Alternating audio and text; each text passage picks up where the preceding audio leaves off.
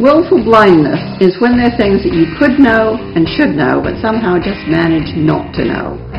Once you start to get the idea, you see it everywhere. You no longer hold my hand like you never wanna let it go.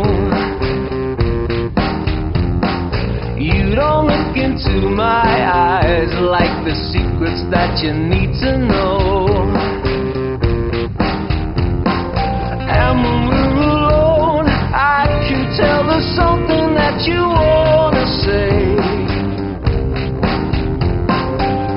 Don't say it yet, my love.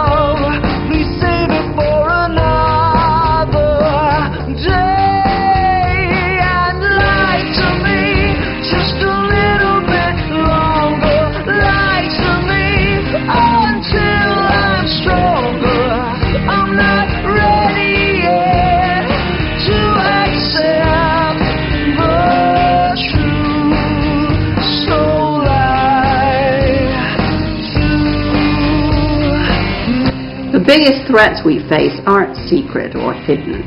They're right in front of us. But our brain cannot take in everything, so it edits. The real question then is, how do we choose what we see and what we're blind to?